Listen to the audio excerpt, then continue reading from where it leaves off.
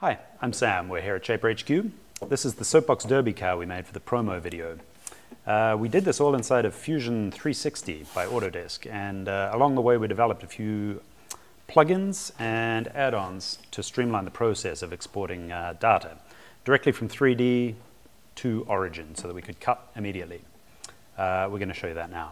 So here we are in Fusion 360 looking at our design. We can uh, orbit around this. It's a 3D editing environment.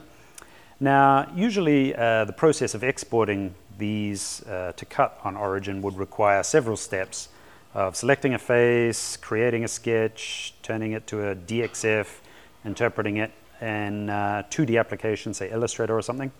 Uh, we've tried to speed that up by creating a little plugin that enables us to, with one click, uh, export this element, this sketch, to our tool. So it's going to name it based on the project name, and then the body name inside the 3D environment.